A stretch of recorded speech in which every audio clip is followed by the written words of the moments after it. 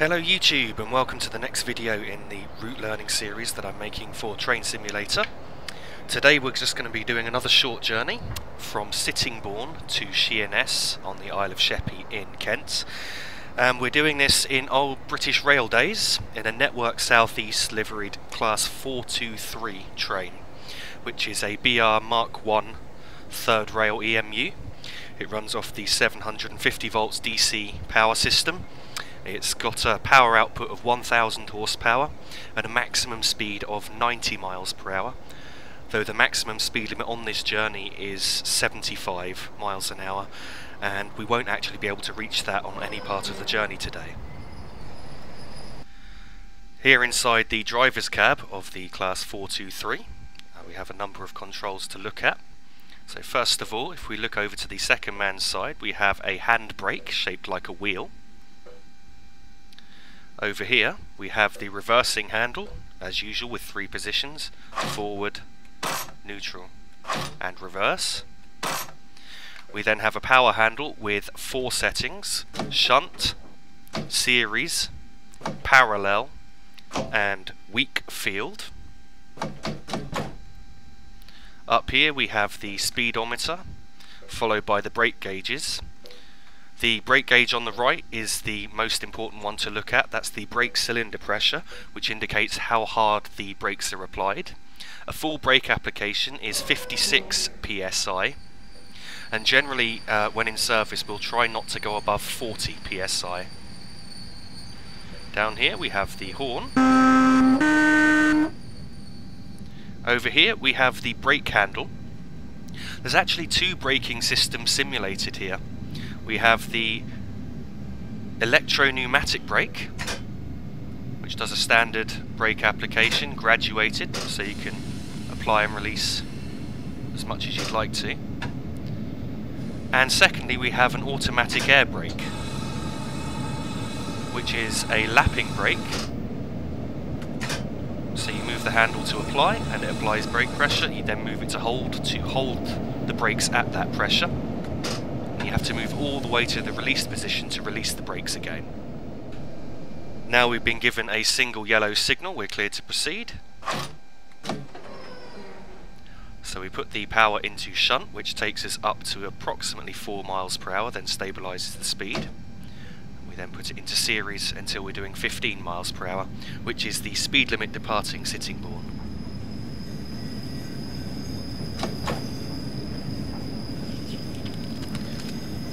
One thing to note is that the speedometer in this train is actually slightly inaccurate when you compare it to the speed on the heads-up display, or HUD, and in fact the speedo is reading the speed as faster than what we're actually travelling. So when it's pointing at 15 we're probably doing about 11 or 12 miles per hour. This discrepancy becomes less noticeable as you get to higher speeds.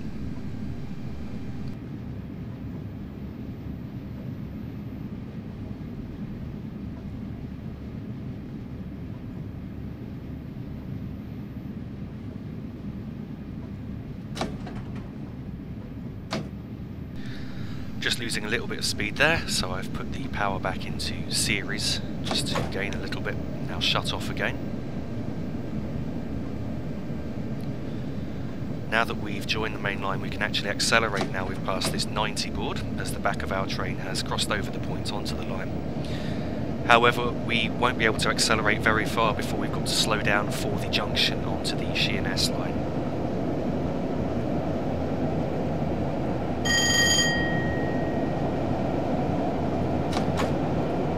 Shutting off power. We're going to apply the brakes to slow down for the 20 mile per hour speed limit.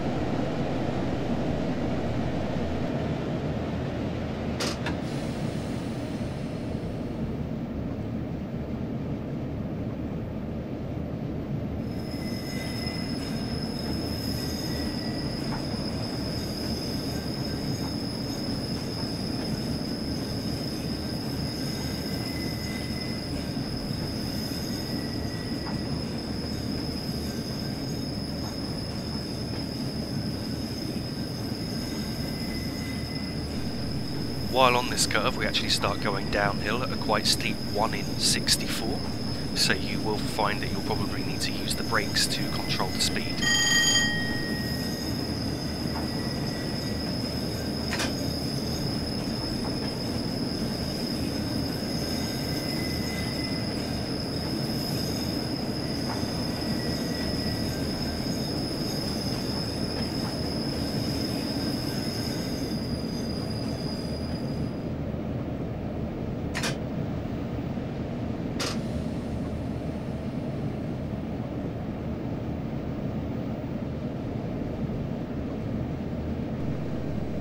can now see our next speed limit as we join the line towards Sheerness of 45 over 75. When you see a dual speed limit like that, the top speed limit applies for freight trains and the lower speed limit for passenger trains. We can accelerate to that 75 at the sixth house on the left, which we're just going past now, so I'll release the brakes and apply power.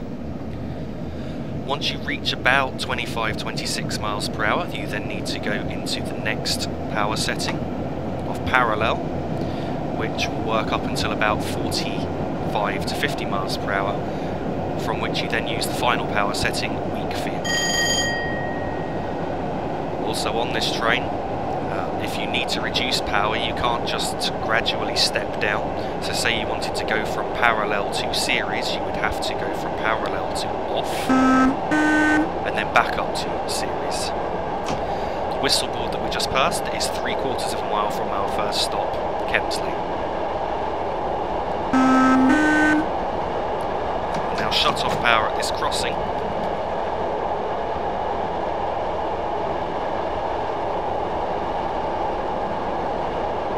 And we'll use this second crossing as a braking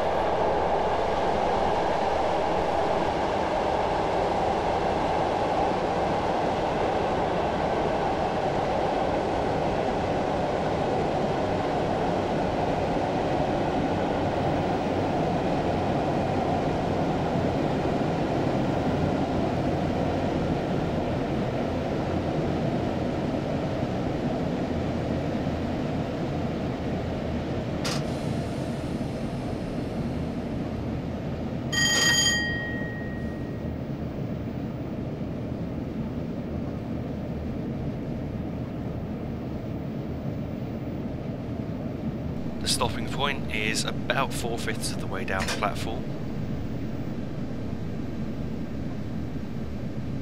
So we'll be looking out for the four car stop sign. Here he is now coming up on the left.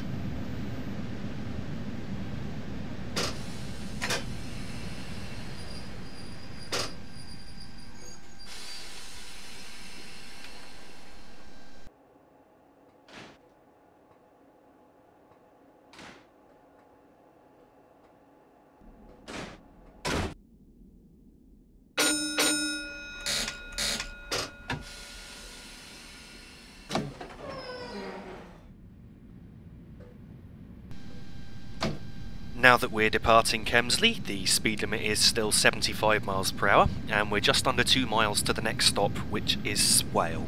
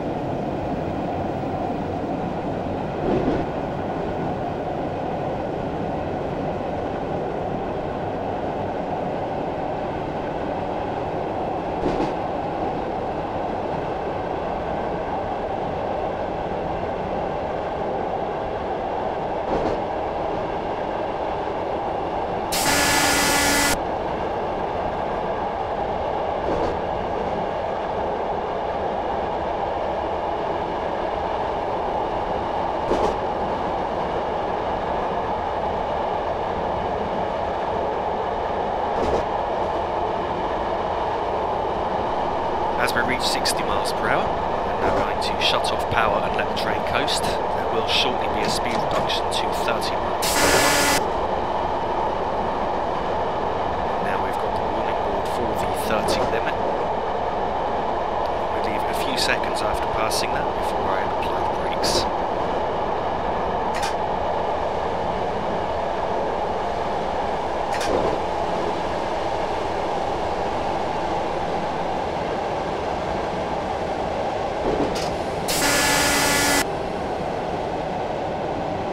We also have a single yellow signal, which means the next signal is in fact red.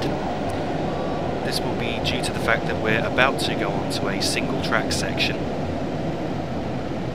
and another train will be occupying that section, so we won't be able to go onto it until that train has cleared.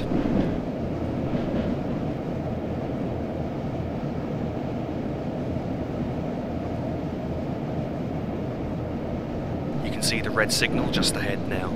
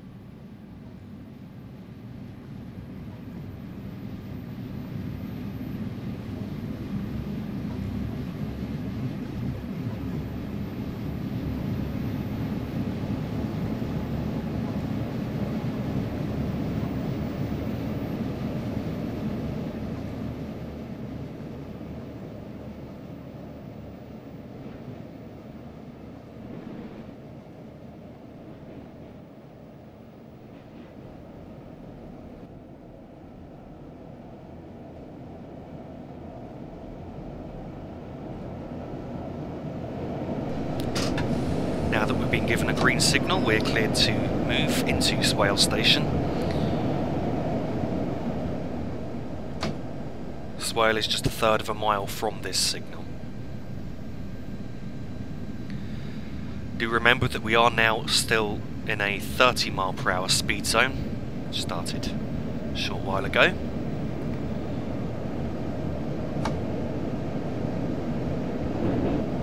As we cross these points onto the single track section, I'm going to shut off power as we cross the second point here.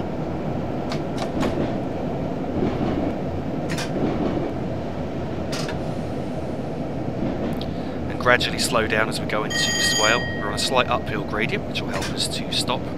And the stopping point is almost at the end of the platform.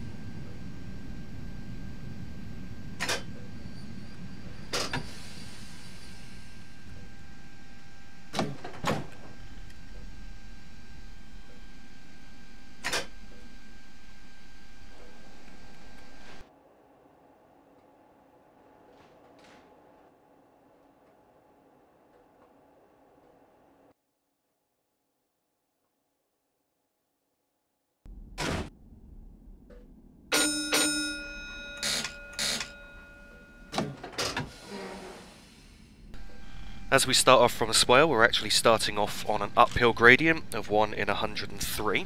So I apply power before I release the brakes to ensure that the train doesn't roll back. Uh, please do bear in mind that the speed limit departing swale is still 30 miles per hour. And as we round this right hand curve, we will then cross the bridge, we've got the road bridge next to us on the left as well, onto the Isle of Sheppey from mainland Kent.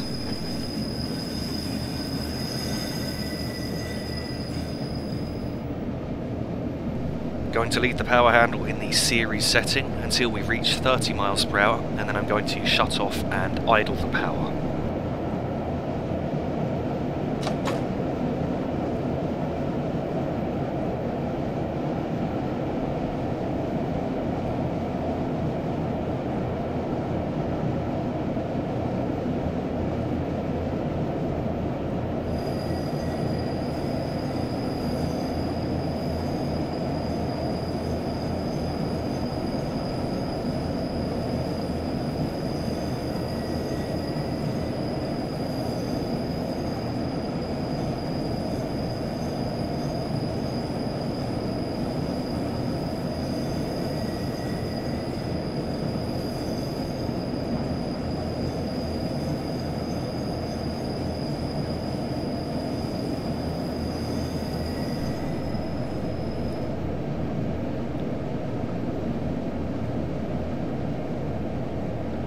As we finish rounding this left-hand curve, the next speed limit comes into sight, which is again a 45 over 75 limit.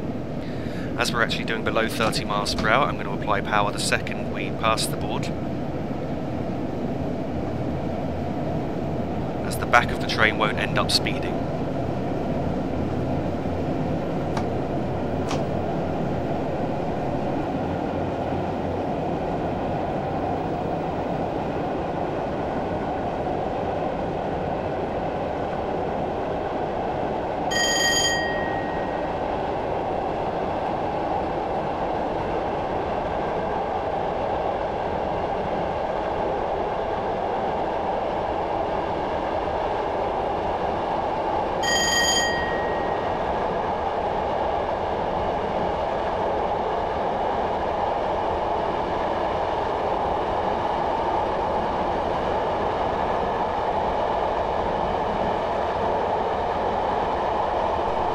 Past the rear of the Morpeth board on the right just there, we're actually half a mile from the next speed reduction, which is to 35 miles per hour. As we reach the Morpeth board on this side, we're now a third of a mile from that speed limit. So we need some hard braking to slow down to ensure that we don't break the speed limit.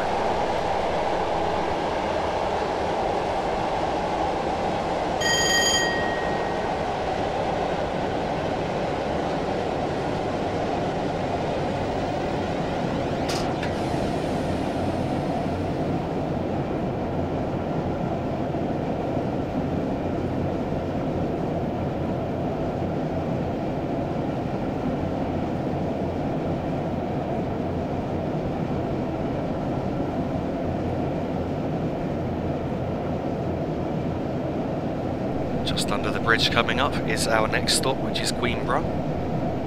The stopping point is about halfway along the platform for a four coach train.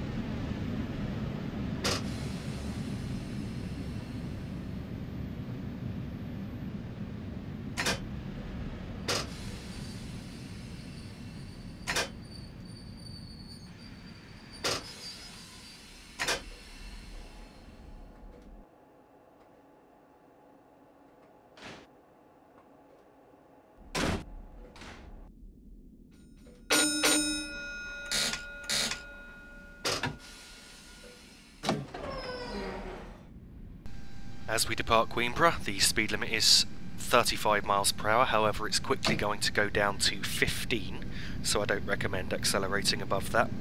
So as we get to 15 miles per hour I'm going to shut off power and let the train coast.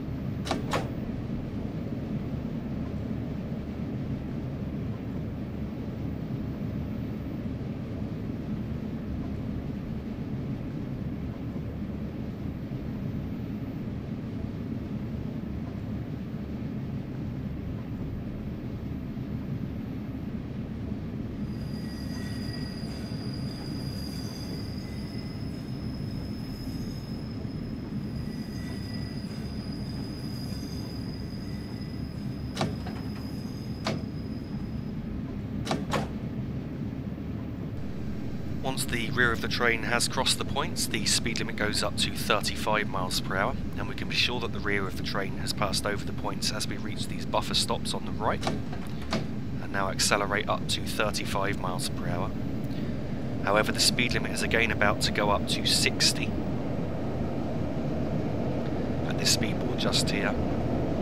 And we probably won't have reached 35 by the time we're passing it, so we can just let the train continue in the current power setting just under two miles from Sheerness here.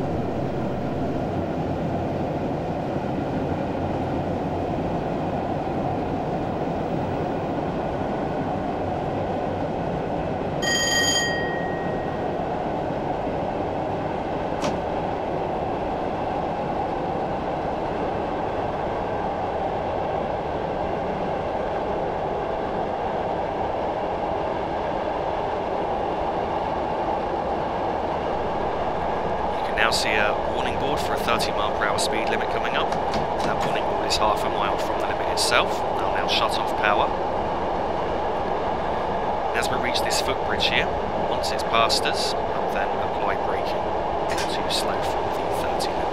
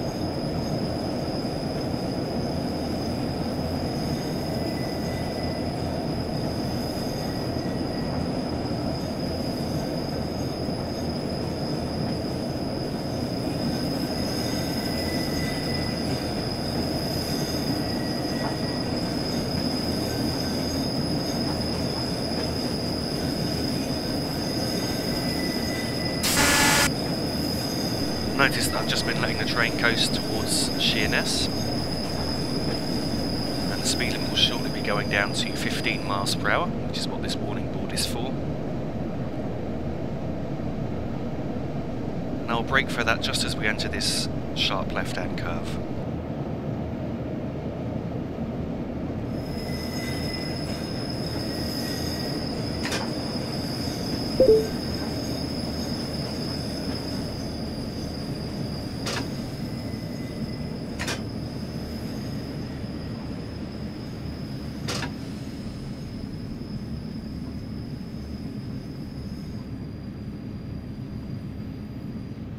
You can now see the platform at Sheerness ahead. Sheerness is the end of the line, so we certainly couldn't go any further than this.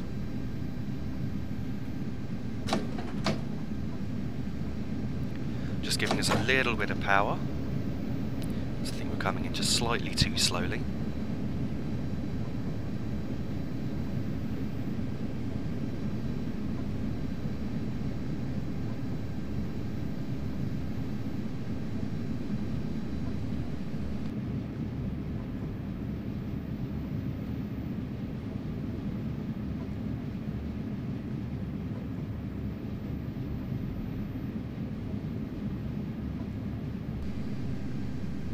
As we let the train coast into the station, losing a little bit of speed.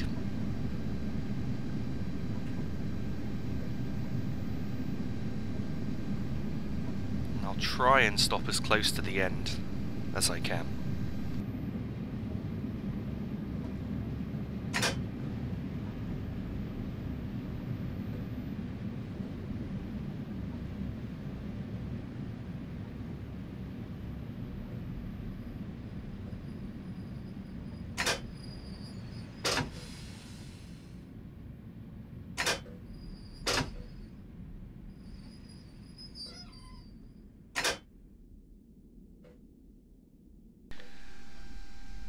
Arrival at Sheerness. Thanks for watching, I hope you've enjoyed the video.